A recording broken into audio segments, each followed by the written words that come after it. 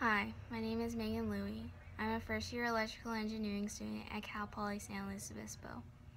Having a lost pet is heartbreaking. Putting up lost signs and searching for days without an answer can leave a pet owner feeling hopeless. There is existing technology that helps reunite pets to their owners.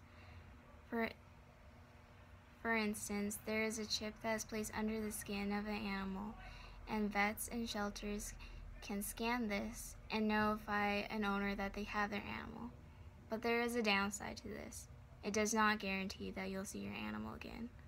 The first problem being is that your animal has to be found first, and then it has to be taken to the shelter.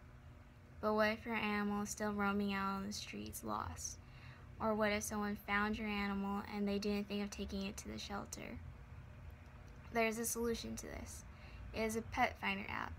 The app can directly track the location of the chip and through that it can give you the location of your animal on your phone. No owner wants to think of the possibility of being parted with their pet, so this app can put an owner's worst nightmare to rest.